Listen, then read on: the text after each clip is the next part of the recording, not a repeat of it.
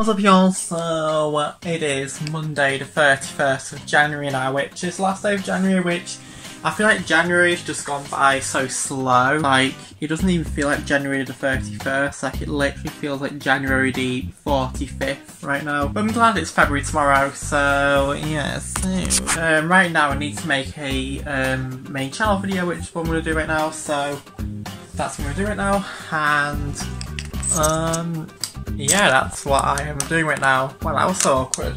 Anyway, I'm going to make a quick video right now, and I'll be over you guys very soon. Okay, so I've just filmed a little video. Um, that was actually quite enjoyable actually, so I filmed a Q&A video, which I don't usually enjoy filming because I always believe that they're boring and not really entertaining, but some of the things uh, were actually quite good, so yeah, it's like half five now, so I'm gonna have some tea. So, so yeah, I'm gonna go downstairs now and um, have tea. What's up y'all, so I didn't vlog that much yesterday, so I'm going to vlog, um, today actually is a combined vlog, so um, today's very windy outside as you can tell, so um, that's the situation right now, so yeah, today's been kind of a very sort of stressful day. It's birthday, so I feel like it's a sign for me to go to a craft store and have a look around because I love crafts and I love stores, so um, that's what I'm doing right now, so um, follow me along.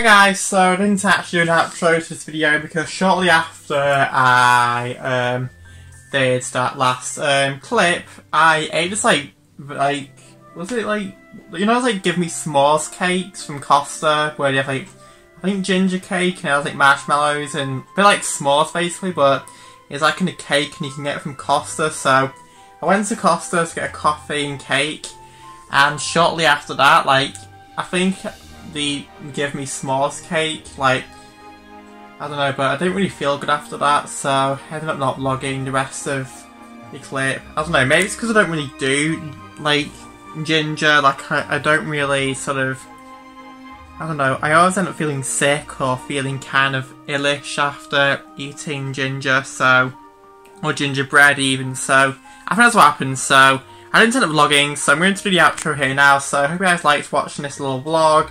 I know it's not like a put together kind of vlog, I apologise, but um, hopefully the next vlog will be more kind of put together, but um, yeah, I'll see you guys whenever I see you, and um, for me, goodbye.